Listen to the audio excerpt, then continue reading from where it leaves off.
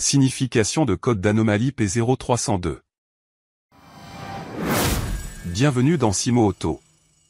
Le code d'anomalie P0302 est un code générique du groupe motopropulseur, est indiqué qu'il y a un problème de raté d'allumage dans le moteur.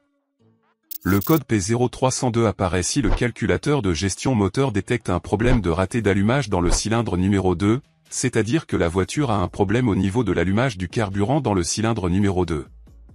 Les causes du code d'anomalie P0302. La bougie d'allumage de cylindre numéro 2 est défectueux.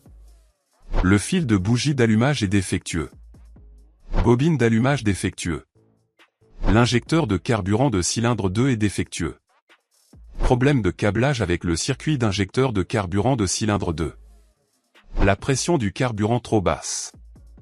La soupape d'échappement de cylindre 2 est calcinée. Calculateur de gestion moteur défectueux. Les symptômes du code d'anomalie P0302.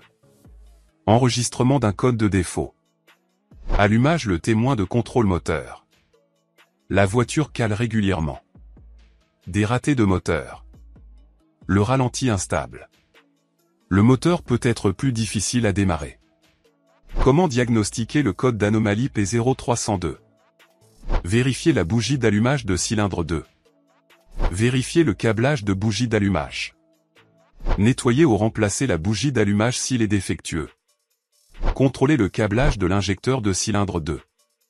Démonter et nettoyer le connecteur de l'injecteur. Vérifier les bobines d'allumage.